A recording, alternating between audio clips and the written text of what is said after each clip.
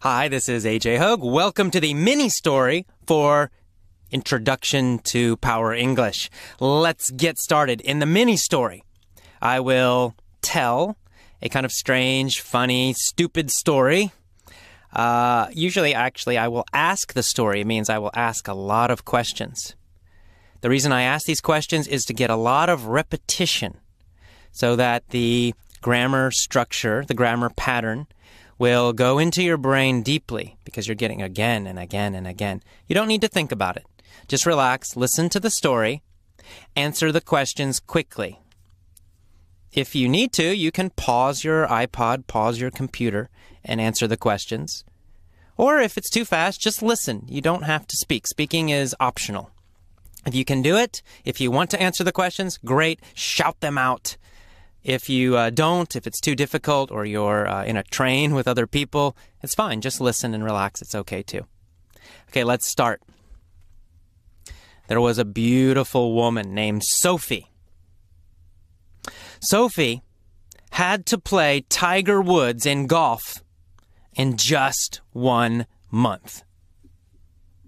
Who had to play Tiger Woods in golf in just one month?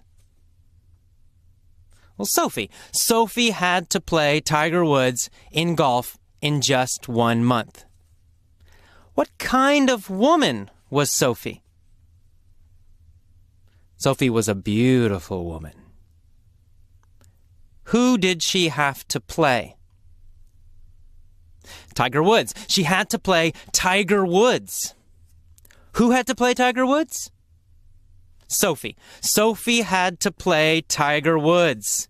In tennis, right? No, no, no. Not in tennis.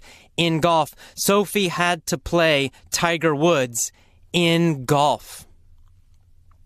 When did Sophie have to play Tiger Woods in golf? In one month. Sophie had to play Tiger Woods in golf in just one month. Was Sophie worried or was Sophie happy? Well, Sophie was worried. Why was she worried? Well, because Tiger Woods is the number one golfer in the world. And Sophie was not good.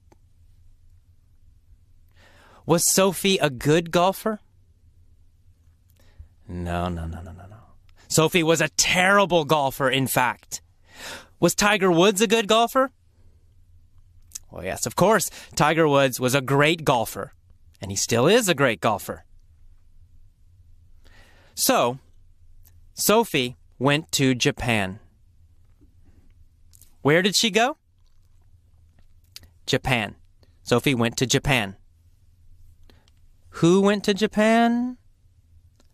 That's right, Sophie. Sophie went to Japan. Why did she go to Japan? Well, to find a golf coach. Of course. She went to Japan to find a golf coach. Where did she go to find a golf coach? to Japan. She went to Japan to find a golf coach. To find what? A golf coach. She went to Japan to find a golf coach. She found a coach named Yoda. What was the coach's name? Yoda. The coach's name was Yoda. Was the coach's name Bob? No, the coach's name was not Bob. The coach's name was Yoda. Whose name was Yoda? Well, the coach's name was Yoda. What was Yoda? Yoda was a golf coach. He said, I can help you learn golf, Sophie. He said, If you use your subconscious, you will become a golf master. What did Yoda say? He said, If you use your subconscious, you will become a golf master. What did Sophie need to use? Her subconscious. Yoda said, if you use your subconscious, you will become a golf master. So if she used her subconscious, what would she become?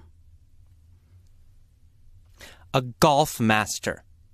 He said, if you use your subconscious, you'll become a golf master. Would she become a tennis master? Or would she become a golf master if she used her subconscious?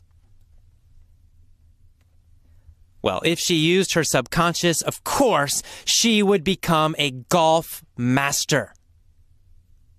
What did she have to use? Her subconscious. She had to use her subconscious to become a golf master. Who